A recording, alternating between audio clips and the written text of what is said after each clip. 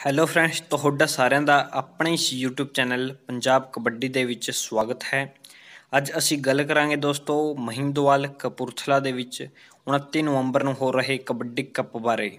ਇੱਥੇ ਕਿਹੜੀ ਕਿਹੜੀਆਂ ਟੀਮਾਂ ਖੇਡ ਰਹੀਆਂ ਨੇ ਅਤੇ ਕਿਹੜੇ ਪਲੇਅਰ ਖੇਡ ਰਹੇ ਨੇ ਅਤੇ ਜੋਤੇ ਦਾ ਕੀ ਸਨਮਾਨ ਹੋਵੇਗਾ।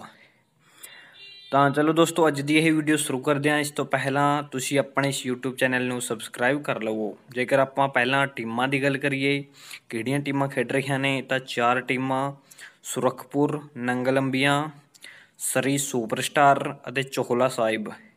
ਇਹ ਟੀਮਾਂ ਖੇਡ ਰਹੀਆਂ ਨੇ ਅਤੇ ਇਹ ਪੂਰੀ ਚੋਟੀ ਦੇ ਪਲੇਅਰ, ਪਲੇਅਰਾਂ ਨਾਲ, ਜਿਹੜੇ ਨਾਮਵਰ ਨੇ, ਉਹਨਾਂ ਨਾਲ ਲੈਸ ਹੋਵੇਗੀ ਪਹਿਲਾਂ ਗੱਲ ਕਰਦੇ ਹਾਂ ਅਸੀਂ ਸੁਰਖਪੁਰ ਟੀਮ ਵਿੱਚ ਕਿਹੜੇ ਪਲੇਅਰ ਖੇਡ ਰਹੇ ਨੇ। ਸੁਰਖਪੁਰ ਵਿੱਚ ਯਾਦਾ ਸੁਰਖਪੁਰ ਜੋਦਾ ਸੁਰਖਪੁਰ, ਜੋਤਾ ਮਹਿੰਦੋਵਾਲ, ਰਵੀ ਦਿਓਰਾ, ਵਿਨੇ ਖੱਤਰੀ, ਨਿੰਦੀ ਬੇਨੜਾ, ਮਨਦੀਪ ਬੇਨੜਾ। ਇਹੀ ਪਲੇਅਰ ਖੇਡ ਰਹੇ ਨੇ ਅਤੇ ਇਹਨਾਂ ਤੋਂ ਬਿਨਾਂ ਵੀ ਬਹੁਤ ਸਾਰੇ ਪਲੇਅਰ ਨੇ ਜਿਹੜੇ ਸੁਰਖਪੁਰ ਵਿੱਚ ਖੇਡਣਗੇ। ਅੱਗੇ ਗੱਲ ਕਰਦੇ ਆ ਨੰਗਲੰਬੀਆਂ ਦੀ, ਜਿਹੜੀ ਸਾਕੋਟ ਦੀ ਟੀਮ ਖੇਡਦੀ ਆ, ਉਹੀ ਖੇਡੂਗੀ। ਇਹਦੇ ਵਿੱਚ ਸੰਦੀਪ ਲੁੱਦਰ ਸੁਲਤਾਨ ਸਮਸਪੁਰ, ਸੰਦੀਪ ਨੰਗਲੰਬੀਆਂ ਫੁੱਲਾ ਸੂਸਕ ਖੁਸ਼ੀ ਡਿੜਬਾ ਸਿੱਪਾ, ਥੰਦੇਵਾਲ, ਸੁੱਖਾ ਬਾਜਵਾ, ਲੱਖਾ, ਸਰਾਵਾਂ, ਦਿਸਾ, ਅਲਵਾਲ, ਡੇਰੀਆਂ। ਅਤੇ ਇਸ ਤੋਂ ਬਿਨਾ ਵੀ ਬਹੁਤ ਸਾਰੇ ਪਲੇਅਰ ਨੇ ਜਿਹੜੇ ਸਾਕੋਟ ਟੀਮ ਵਿੱਚ ਖੇਡਦੇ ਨੇ ਅਤੇ ਉਹੀ ਪੂਰੀ ਸਾਕੋਟ ਦੇ, ਸਾਕੋਟ ਦੀ ਟੀਮ ਨੰਗਲੰਬੀਆਂ ਦੇ ਨਾਂ ਤੇ ਮਹਿੰਦਵਾਲ ਕਬੱਡੀ ਕੱਪ ਉੱਤੇ ਖੇਡੇਗੀ। ਅਤੇ ਜੇਕਰ ਇਸ ਤੋਂ ਅਗਲੀ ਟੀਮ ਦੀ ਗੱਲ ਕਰੀਏ, ਤਾਂ ਉਹ ਹੈਗੀ ਸਰੀ ਸੁਪਰਸਟਾਰ ਜਿਹੜੀ ਰਾਇਲ ਕਿੰਗ ਵੈਸਟ ਦੇ ਨਾਲ ਖੇਡਦੀ ਹੈ।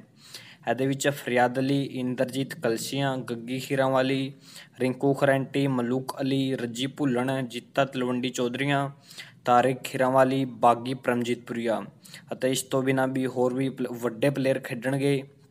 ਜਿਹਦੇ ਵਿੱਚ ਜਿਹੜੀ ਟੀਮ ਰਾਇਲ ਕਿੰਗ ਵੈਸਟ ਦੇ ਨਾਂ ਨਾਲ ਖੇਡਦੀ ਹੈ।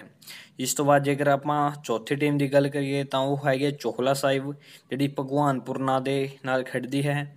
ਇਹਦੇ ਵਿੱਚ ਅਰਸ਼ ਚੋਲਾ ਸਾਹਿਬ, ਮੱਖਣ ਮੱਖੀ, ਗੁਰਲਾਲ ਘਨੌਰ, ਭੀਮ ਦੁਬਲੀ, ਚੀੜਾ ਕਾਲੇ ਸੰਗਿਆ ਅੰਮ੍ਰਿਤ ਔਲਖ ਪੂਰੀ ਛੰਨਾ, ਕਾਲਾ ਦੂਰਕੋਟ ਇਹੀ ਪਲੇਅਰ ਖੇਡਣਗੇ ਅਤੇ ਇਸ ਤੋਂ ਬਿਨਾਂ ਜਿਹੜੇ ਭਗਵਾਨਪੁਰ ਟੀਮ ਵਿੱਚ ਖੇਡਦੇ ਨੇ ਉਹ ਸਾਰੇ ਪਲੇਅਰ ਇੱਥੇ ਖੇਡਣਗੇ ਚਾ ਇਹ ਸੀ ਚਾਰ ਚੋਟੀ ਦੀਆਂ ਟੀਮਾਂ ਜਿਹੜੀਆਂ ਖੇਡਣਗੀਆਂ।